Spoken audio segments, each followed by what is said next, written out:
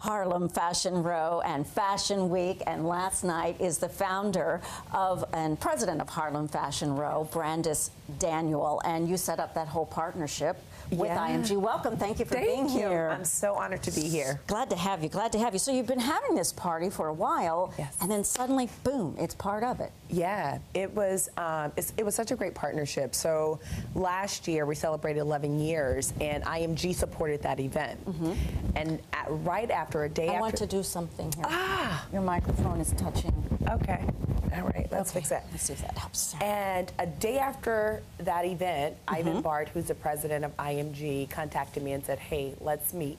I said, "This week during Fashion Week, the busiest time," and he's like, "Yeah." So we met right in the middle of Fashion Week, models walking all around us, so much buzz going on, and we had a real conversation about diversity in fashion and what some of the challenges were that designers were facing. And he said, at that moment, IMG is committed to being a partner with you Nice. in your work. And so that is how this all started. It all started. And, Yeah. and speaking about the diversity, because we're talking about all kinds of things color, culture, Yes. s- physical size, um, disabled, not disabled, everything. I mean, how, how do we, uh, how do you all as an industry Mm-hmm. get more people involved to reflect who we all are?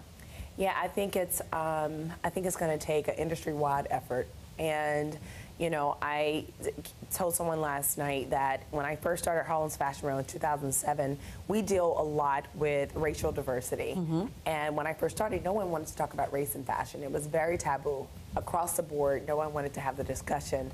And now people are so willing to actually openly have the conversation and like face the, some of the tough realities um, that are very prevalent in this industry. So we see it, we're seeing it, more men on the runways. Yes. Uh, uh, people of color on the runways, Yes. um, more of them. Yes, Uh, uh, but, but as a designer, just to get somebody to listen to you Yes. and, and look at your work, Absolutely. I mean, that has to be just a real challenge. And then, right? Yes, yes, yes. And they need people like you to help, you know, help Yes. keeping the word out there and, and the excitement of it. Absolutely. I always say, like, being an African American and deciding to become a designer is like one of the hardest things and hardest decisions I think someone could ever make.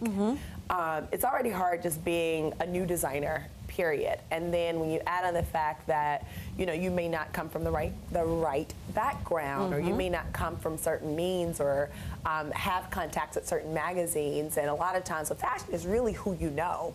And to still decide to make that commitment, that's a big commitment. You are committed. Yeah, totally. And throwing some luck there as well. Yeah. Uh, let's let's talk about Ruth Carter. Um, how exciting to have her there as an honoree, and uh, how exciting that she is nominated for an Oscar. Yes. Uh, I didn't realize how many films she had done. Can you tell us about tell us about uh, enjoying the evening with her? The breadth of her work is absolutely incredible. I got a chance a few years ago to do a one-on-one with her. Nice. and um, really got a chance to understand like what went on in her mind as she got ready for a film. And I said, "You're like a mad scientist." she really is a genius in how she approaches her films and how she approaches her work. Um, and so. I was just beyond excited that IMG actually brought Ruth Carter to the table and said, "Hey, we really want to do something with her." And we were we been- we've been wanting to honor her for years, so it really worked out that we were both aligned in um, our passion for her work, and this was just kind of the perfect storm because right Really now she's good. nominated for an Oscar, so it's perfect. Okay, let's talk about another big name you're involved with, Harlem Fashion Row. These uh, LeBron James, and, and I saw on the website. On the Yes. website, it's a beautiful website, by the way. Thank Uh, you. But that, that sneaker for women. Yeah, yeah, we created. What's that like talking with him? I know. So first of all, LeBron James is so nice. Okay. I have to like. You never know. Like you see people. And you wonder how they yeah, and you are. wonder. You wonder. Yeah. But he's really nice. And last year they decided to do something very different. This was the first LeBron shoe.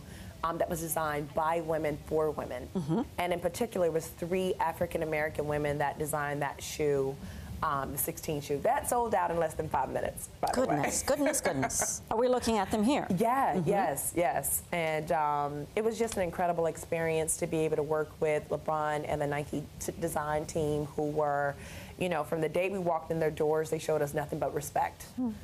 And you know, I think the designers were really shocked at how open they were to their ideas. And Brandice, that's part of what your your company Harlem Fashion Road.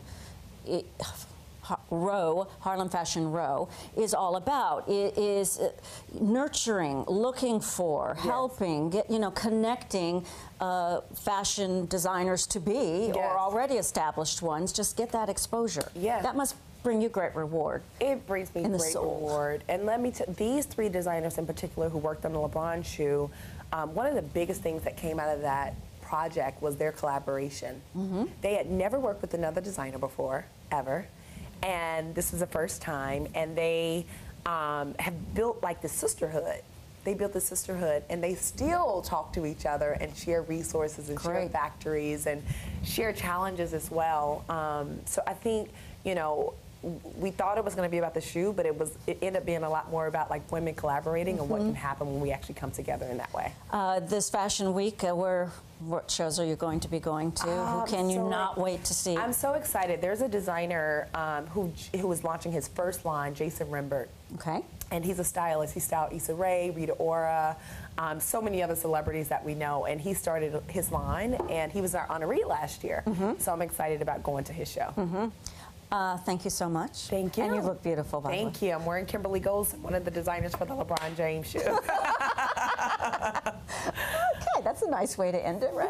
Yeah. Nice to meet you, Nice to Brandice. meet you. Very nice to meet you. Brandice Daniel, Awesome. one second right